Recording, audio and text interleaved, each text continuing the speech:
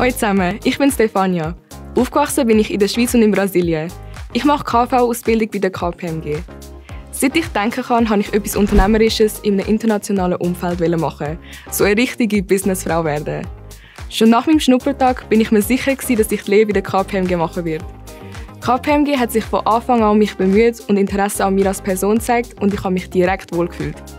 Wir bieten das KV in zwei verschiedenen Fachrichtungen an. Ich habe mich für die Richtung Dienstleistung und Administration entschieden. Mein Aufgabenbereich ist mega vielfältig. Alle sechs Monate wechsle ich die Abteilung, wechseln, wodurch ich einen umfassenden Einblick in die ganze Unternehmung bekomme.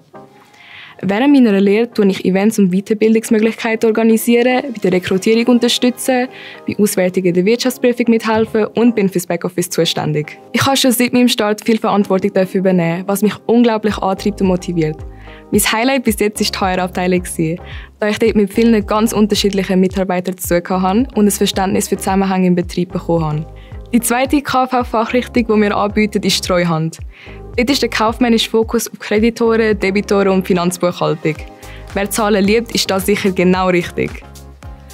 Auch dort dürfen wir Lernenden sehr früh Verantwortung übernehmen. Eine grosse Eigenständigkeit und sich selber organisieren können, ist neben dem strukturierten Arbeiten key. Zudem bekommt man im zweiten Lehrjahr die Gelegenheit, in der Abteilung Mehrwertsteuer zu arbeiten.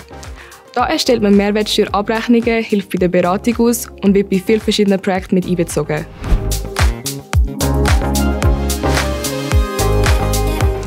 In unserer lernenden Community haben wir einen mega guten Zusammenhalt und es haben wir vor allem am Anfang der Lehre mega weitergeholfen.